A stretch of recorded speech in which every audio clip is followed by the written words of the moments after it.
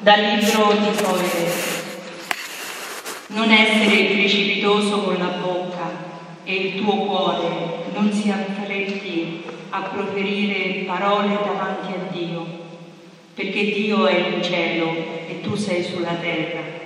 Perciò le tue parole siano parte, poiché dalle molte preoccupazioni vengono i sogni e dalle molte chiacchiere il discorso dello storto.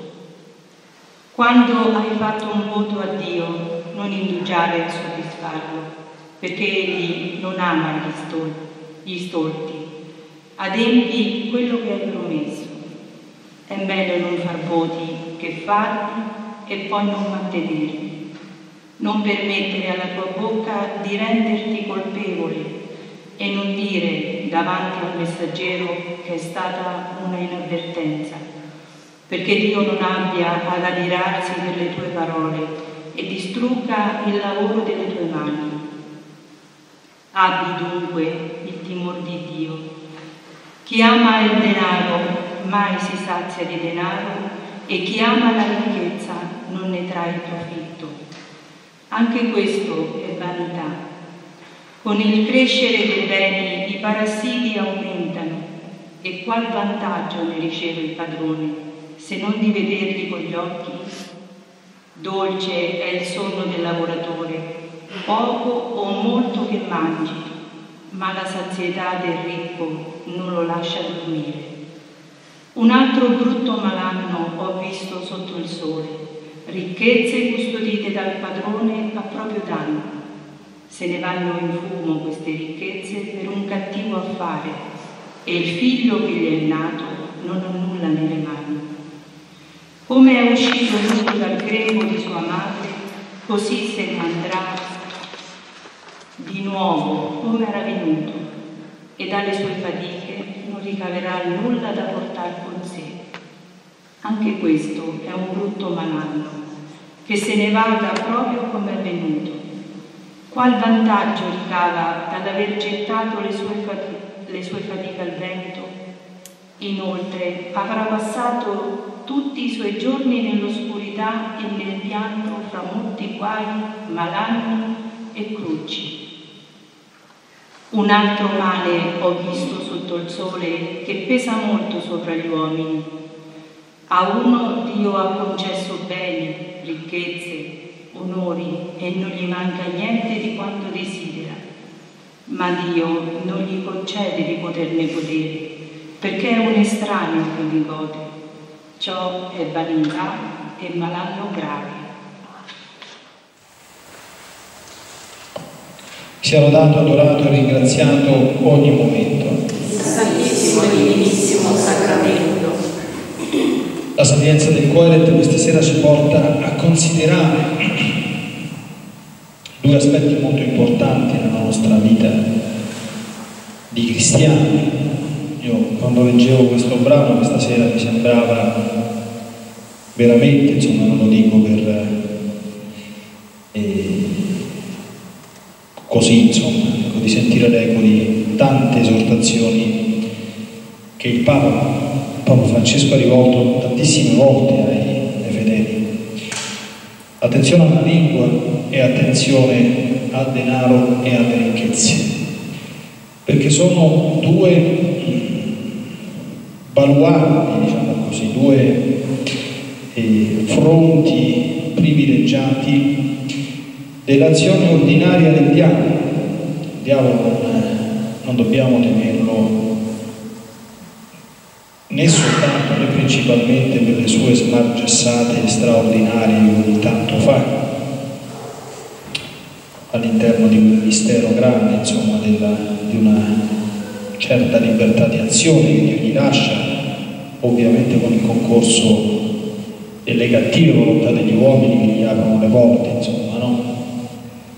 Ma noi dobbiamo temere i danni che continuamente combina tra noi mortali nelle cose apparentemente piccole, insignificanti, a cui non badiamo, non facciamo caso, oppure consideriamo di poco conto, eppure possono essere davvero foriere di grandissimi danni.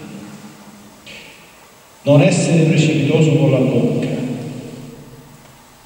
quante volte c'è stato qualche saggio che ha detto mi sono sempre pentito, quasi sempre pentito di aver parlato, quasi mai di aver taciuto. Quante volte noi parliamo precipitosamente, non lasciamo neanche finire una persona di parlare che la interrompiamo o la aggrediamo. Dio non voglia che ci viene a dire qualche piccola cosa diretto o indiretta cominciamo a vomitargli addosso una montagna di difese, di cose che si è azzardato di l'essere precipitosi con la bocca. È una cosa che non va davanti a Dio, non è soltanto una cosa, come dire, umana, magari un po' antipatica, non si fa né davanti agli uomini né davanti a Dio, qui viene fatto l'esempio frequente di persone che anche davanti al Signore parlano in maniera un po' precipitosa, un po' avventata, ecco, nel senso che a Dio non si fanno promesse come diciamo noi comuni mortali del marinaio, non posso dire a Dio io ti prometto questa cosa e poi non solo che non la faccio, ma addirittura me pure dimentico, non si fanno queste cose, perché la parola data è un punto d'onore e anche un punto di rettitudine tra noi mortali. Se io dico una cosa, prometto una cosa a una persona, do la mia parola, io quella cosa la devo fare. Ecco perché Gesù nel Vangelo dice che non serve fare giuramenti, non serve perché amo Dio a testimonianza del fatto che se dico una cosa la farò, non serve. Perché se io dico una cosa, quella cosa la faccio. Davanti a Dio questo vale cento volte tanto, perché se io prometto a Dio di fare una cosa, una promessa fatta a Dio è ancora più grande di una promessa fatta a un uomo. Allora i maestri di spirito distinguono sempre la promessa dal proposito. Ecco, I propositi davanti a Dio possiamo farli, ma il proposito non è una promessa, il proposito è un impegno, Signore mio, io mi impegnerò se ce la faccio a fare questa cosa. Poi dobbiamo impegnarci però, eh, perché anche il proposito non è che è una cosa detta tanto per dire, però non è come una promessa, cioè un voto fatto a Dio, che se poi non la, non, non la adempio, cioè secondo comandamento, eh, commetto peccato mortale, non, non, viene fatto, non si fanno queste cose con, con leggerezza, no? Ecco, le nostre parole è bene che siano parche, dobbiamo essere ovviamente taciturni, non è una cosa bella tra figli di Dio, no? però dobbiamo fare molta attenzione a parlare bene, a usare bene il nostro perdono. Ecco perché dalle molte chiacchiere viene il discorso dello stolto. Santa Teresa diceva che nel molto parlare non manca mai il peccato. E la chiacchiera, Papa Francesco dice sempre, il chiacchiericcio che è quasi sempre maldicenza, pettegolezzo, ricamo, quindi, che non è altro che semina di veleno, non è altro che togliere l'onore, la buona fama al prossimo, non ci deve essere nei nostri discorsi. Dobbiamo anche essere un pochino intelligenti, miei figlioli miei cari, ricordando qualche bel proverbio che ci fa bene, eh? perché le chiacchiere non sono bisogna farle, ma bisogna nemmeno ascoltarle.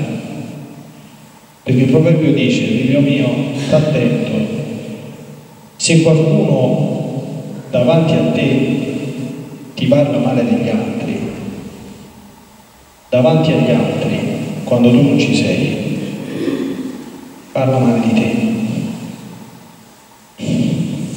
Chi c'è passato sa quanto queste cose siano vere.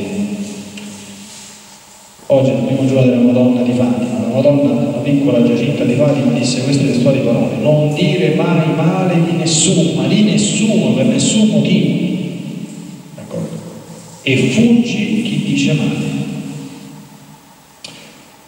Questo dobbiamo mettercelo bene in testa per farlo oggetto di un proposito fermo, fermo. Molto sapienti da meditare nel nostro silenzio personale sono anche le parole di Coerente riguardanti il denaro la ricchezza. Il denaro noi possiamo usarlo, ma dobbiamo sempre considerarlo come campo minato. Visto quando, quando noi tocchiamo qualcosa di scottante, ci scottiamo, quindi dobbiamo prenderlo con le pinze, dobbiamo certamente in qualche modo utilizzarlo, facendo sempre molta attenzione, perché il denaro chiede l'amore, che poi diventa cupidigia e avarizia, ma chi il denaro lo ama, o la ricchezza, non, non soltanto che non lo condivide, il che è già cosa grave davanti al Signore, ma non ne trae nemmeno profitto. Qui ci sono tutta una serie di massime, dice attenzione, eh, Primo, aumenti i soldi, aumentano i parassiti, la gente che ti sta vicino non vuole godere dei tuoi soldi, questa è esperienza comune, d'accordo? Dice chi lavora, promo che campa di stipendio, dorme la notte? Il ricco spesso e volentieri non dorme perché sta preoccupato. Ancora, ricchezze custodite dal buono a poco danno e ancora se ne vanno in fumo le ricchezze per un cattivo affare. Io vengo da Latina, non voglio fare, cioè, a Latina ci sono dei casi famosi, insomma, di gente straricca, caduta nel lastrico e anche tragicamente, esiti drammatici, ecco, delle, delle vite, no? E con fare neanche i figli si godono nulla e che tornano nudi, così come sono usciti dal, dal grembo della, della madre. E quindi uno che si affanna per una vita, accumulare, accumulare soldi, soldi, ricchezze, ricchezze, non sa mai come farne. Quale vantaggio ricava dalla gente dove si fatica al vento? Passa i giorni nell'oscurità, nel pianto, fra molti guai, malanni e cruci. Questo è così, anche se apparentemente nelle vetrine, specialmente moderne, la vita del ricco sembra così tanto splendente, ma così non è. Allora, la Sacra Scrittura dice queste parole, la ricchezza anche se abbonda non attaccate mai il cuore, i soldi non vanno amati, il Signore ne ha parlato come un pericolo, non una cosa che ci porta automaticamente all'inferno, ma che ci espone a molte tentazioni. Il rimedio per questo è la condivisione e di ritenerci noi amministratori per conto di Dio delle ricchezze che abbiamo, poche o tante che siano. Sentivo Papa Francesco qualche giorno fa, fa una bellissima omelia che sinceramente mi ha fatto piacere, perché sono cose che personalmente ho detto in termini molto simili in certe circostanze dice, ma molta gente dice, ma io non posso condividere i miei beni perché io ce la faccio arrivare alla fine del mese. Ma ti avanzerà qualche soldo spiccio, ci avrà qualche monetina dentro il portafoglio, 50 centesimi, un euro, due euro. Condividi quelli. Facciamo come l'opera della vedova, abbiamo sentito recentemente i Vangeli feriali festivi. Ah, ma io non c'ho neanche quelli. Va bene, fate una passeggiata nel guardaroba. Quanti vestiti c'hai? Quante scarpe c'hai? Proprio così. Che non usi mai, non metti mai. Prendili e dagli a chi sta con te. Questo non costa niente, questo qui, no? Sono tante piccole cose che noi non possiamo ignorare come figli, né pensare che vabbè non fa niente.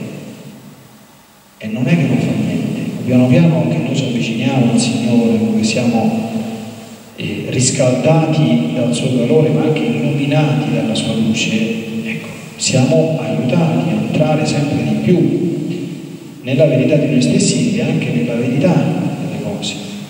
Quindi le parole vanno distribuite poche e buone, invece le ricchezze vanno distribuite possibilmente tante e a tutti e per buone cause.